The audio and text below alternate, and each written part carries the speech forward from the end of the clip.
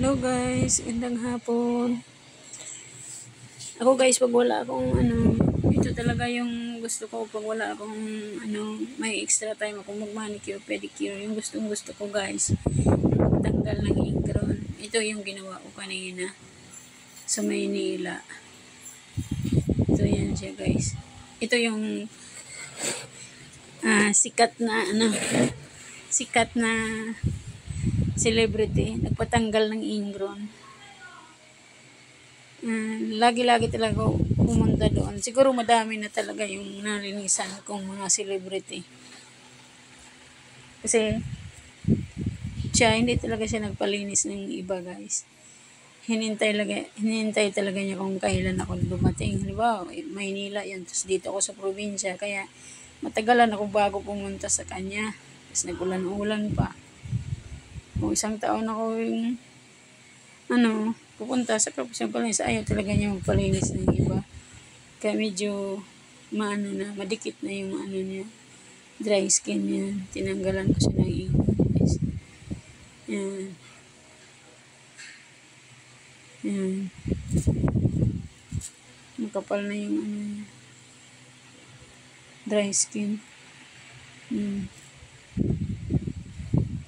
Kaya na may siguro tatlo silang no, artista ang nilinis ko kanina. Pero eh, respetuhin lang natin guys kasi ayaw nilang magpa, magpakita sa mukha nila. Kaya yan lang, kukulang. Yan.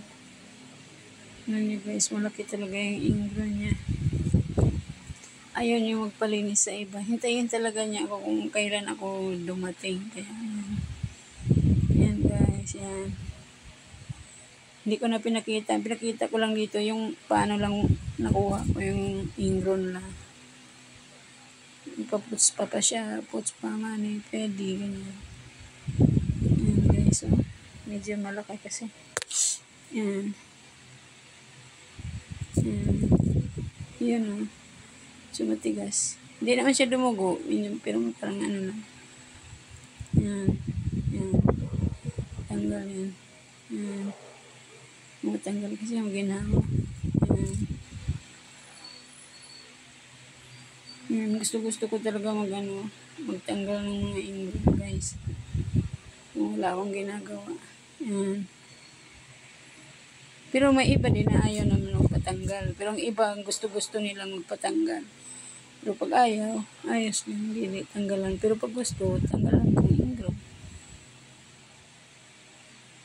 Yung mga Chinese, ayaw nila ganong ano, Korean, ayaw nila ng tinatanggalan sila ng ingron. Pero kagaya natin mga Pilipino, gusto-gusto talaga yung magpatanggal ng ingron. Hindi naman lahat, pero halos-halos talaga Pinoy gusto ng Pilipino na magtanggalan tanggalan ng mga gilid. Yan guys, yan.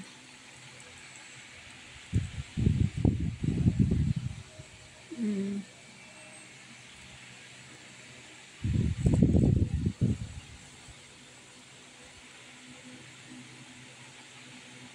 Ayan, ayan. Mukha ba yan? Hindi pala sa kabila. Mas malaki doon sa kabila. Ayan.